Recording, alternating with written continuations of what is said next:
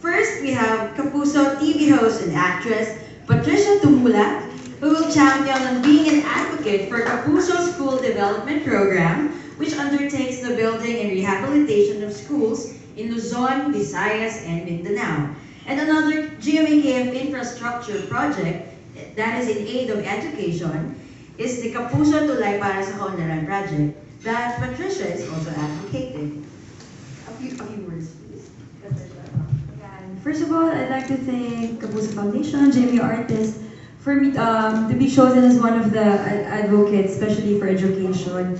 Um, i-share ko lang na I'm super happy na I get to share both yung advocacy, which is education, because I have a passion project, which is Push to Read project, wherein yun nga, I gather kids from different barangays and I conduct storytelling. And then in line with this um, education program, it's connected. Sabi ko nga eh, lahat talaga ng mamimit mo o lahat ng mga nangyayari sa'yo eh may rason. So dinala ako dito with Jamie Artist at sa Snell, may rason. So I'm here to raise awareness, to be part of this um, program, to be active, and to um, make the youth realize the importance of education, not just with education, with community nga. And with yung sa in line with Kapuso Tulay para sa Kaunlaran, nasimulan ko na itong proyekto noong September 8. We were there para sa takbo sa tulay ng pagbabago sa Pakibato. Tumakbo kami doon. Nag 5 kilometers lang ako doon. And then ito nga yun na to help sa mga indigenous people, yung pagbuo ng bridge sa Pakibato. Yun na yung topic namin kanina. Um, nakatulong tayo ng 400 families, not just for education, para sa economy nila. So, napaka-thankful ako na parte ako dito. Pero Patricia, you know, you should also say that um, you you you also studied education. That's why you're really into this. It's because, believe it or not, she's not just pretty, but she graduated with an education degree in primary education. Yes, child development education. So, kaya connected siya. Dahil I used to teach, I used to teach um, kids, even with special needs, so preschool, and then there you go. So, thank you. Thank you, Patricia. Next is multi-talented actress and budding chef slash entrepreneur, Bea Benene will be spreading awareness on the need to support GMAKF's Operation Bayanihan Relief Operations. Words, please, Bea. Hello po, good afternoon po sa inyong lahat, Tita Ricky, Tita Mel, Sir Simon, Miss Gigi, good afternoon po. And maraming salamat po sa pagpunta niyo dito. At unang-una, gusto ko pong magpasalamat sa GMA Kapuso Foundation. You know, I have been volunteering since I was six. Kakapakita ko nga lang kay Tita Mel eh. Pakita mo yung picture, di as proof. Proof ko, When I was six years old, I think this is um, unang hakbang sa kinabukasan or yung parang Kids for a Cause. I think Kids for a Cause um, project of KF. So, um, para sa akin, this opportunity, syempre, I'm very, very grateful for this, uh, for to, to be part of this, to be one of the advocates. Pero I think for me, it's just a label. It's a, it's a different challenge, of course, pero with a label or not, with all the cameras or not, with a press con or not, I would always be here for KF. Um, for disaster relief, you know, uh, alam niyo naman po, nag, na-invite ko rin po yung iba sa inyo before. Um, we produced an advocacy indie film about climate change. And uh, yun, uh, tinatakal po dun sa movie yung uh, climate change, awareness, to give awareness to the students, to the people, to the, the, the people in the communities, ganyan. And I think it's important para it goes hand in hand eh. Kasi we should be aware, we should be taking care of the environment. And let's not let's not wait for another Ondo or another Yolanda to happen. To, to, para meron tayong i-relieve.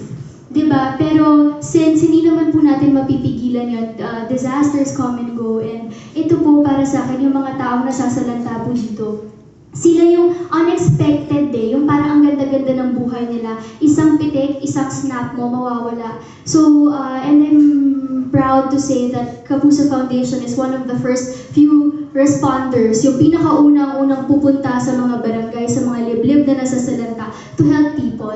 And I'm really excited. Sana po mabigyan po ako ng opportunity na makapunta talaga doon. Kasi um, kahit it's not just money, it's not just the food na bibigay mo, pero yung pag-uplift ng spirits nila, yung pag ano mo, yung pag-encourage mo na it will be better, na um, don't worry, God is there, hindi niya po tayo pababayaan. And yung ano niya, yung salamat po. It's really priceless. So, di ba tita dapat dati pupunta tayong Marawi? Kaya lang, hindi po ako hindi po ako napayagan. As in, inaayos na namin yung tickets and everything. Hindi po ako napayagan. Hindi ko po alam kung bakit. Pero yun, sana ngayon, eto na, wala na pong excuse. Wala na pong excuse para sabihin hindi pwede kasi ito na yung advocate ko, ito na yung advocacy ko, disaster relief. So, kailangan, sasama, gusto ko talagang sumama. So, yun. Um, thank you po. Thank you again. And, ayun, I'm really, really hoping for for uh, longer partnership and syempre nandito rin po kami to influence people kasi nin- naniniwala din po ako na kabataan ang pag-asa ng bayan. So with the um, disaster relief man yan, may it be health, may it be education, it it's really important for us to prepare for the future. Yun. Thank you po. And the choice of Bea as the advocate for disaster relief was really, um, it, we really thought about it because Bea has been there with us since she was a kid. Well, uh, what, six years old, five years old. And alam mo, si Bea has never said no to KF. In fairness to Bea and her mother, they're always there, even though they have shows, they're very busy. That's why we thought, you know, it's really good if we choose Bea for disaster relief kasi, aba, eh di ba yung mga bagyo natin biglang darating na lang. And then biglang kailangan na namin mag-mount. As of the moment, no, uh, with Tita Mel's exhortation, we're already mounting uh, a next wave of disaster relief for those stricken by the earthquake. Hindi kasi masyadong hindi kasi masyadong naapektuhan yung mga community sa Davao ng earthquake. Ang nasira, mall or something like that. However, nagbigay na ng appeal ang mga local governments dun sa area ng Davao region na kailangan nila ng tulong. The people are too scared to go back home and to go to the evacuation centers. Nandun sila ngayon kumpul-kumpul sa mga schools. So your GMAKF is on its way now to distribute relief goods within the next three days with our news teams. So, ang tinuro sa amin ni Tita Mel, kailangan we work with news so that once merong disaster na mangyari, we go there immediately. We go when it is needed. So, etong disaster relief na ito, I think it's very, um, it's very apt that B, that, um, you know, Bea, is our advocate kasi she's always there for us. So, thank you, B. Thank you, Bea. And of course, versatile and talented dramatic actor Rocco Nasino will be joining GMAKF's health and nutrition projects, such as the BC Bayan and Give a Gift projects. Alright, would you like to share? Yes, good afternoon. Uh, I just, uh, I feel so new. Parang, uh, I, I feel like a, uh, a new member of the team na nakasama dito. But I really feel uh, uh, humbled and uh, really, really honored to be part of this. Kasi um, reading everything and being briefed about the, the projects that KF has, it, it just takes me back kung kailan bago ako pumasok ng showbiz, ang maliit na gawain namin ng nanay ko na magbigay ng pagkain sa mga bata na sa kalsada para makapagbigay saya lang sa kanila sa, sa araw ng Pasko. Ngayon has bloomed into me entering showbiz and uh, being able to provide more to more kids and uh, lalo na with uh, children with cancer kasi cancer survivor mom ko. And then now, blooming even more to be part of uh, Foundation. And now, sinasabi nga ni Bea and all our executives uh, of their adventures and their experiences of going to uh, different parts of the Philippines. Sabi ko, um, kakaibang experience na. And I just feel so excited kasi totoo nga yung sinasabi nila eh, uh, yung kabataan natin, sila talagang future natin. And to be able to go there, to bring artists over there, mga idol nila doon. Pero itong mga idol na ito, mga well-equipped na idol, pagpunta doon ay ma- makakapagbahagi ng edukasyon. At uh, lalo na sa sa posisyon ko, I feel that it, this is very timely. Dahil um, sabi ko, ma- may ibabahagi ko yung mga kaalaman ko bilang isang nurse, uh, isang frustrated doctor ako, pero siyempre hindi ko na makakamit yun. Pero, bakit hindi? Kaya pa. Pwede pa. But, um, Ang sabi ko, totoo naman po eh, kapag uh, in terms of uh, health and uh, medical issues and uh, medical professionals going to uh, other, sa mga liblib na lugar, syempre yung mga, uh, mga kapuso natin na in need, hindi rin nila naiintindihan. So sa tingin ko, ma-impart ko dito sa mga kapuso natin yung pagbibigay ng layman's term, uh, yung pag-explain sa kanila na maayos para maintindihan nila ano itong ginagawa natin para sa kanila. And uh, for me, I enjoy uh, imparting knowledge. I enjoy teaching. Uh, da- nadala to sa, ano, sa aking uh, kurso. And it's, it's timely because this Saturday I'll be graduating as a reservist uh, of the Philippine Navy. Sabi ko, magagamit ko yan lahat uh, in, ano, in, uh, in our projects. So, perfect kasi kasama pong AFP eh. So, natutuwa po talaga ako sa mga proyekto natin.